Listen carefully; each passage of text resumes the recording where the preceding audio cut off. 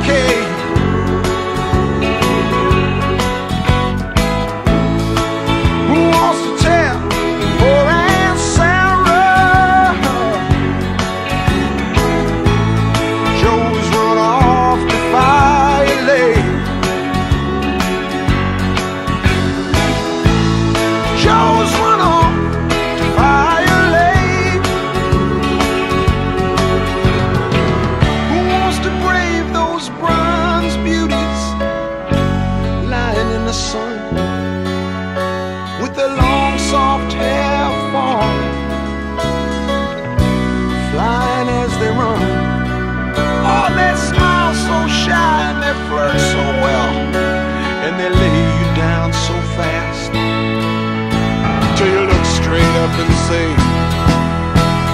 Oh Lord, am I really hearing this? Who wants to play those eights and aces?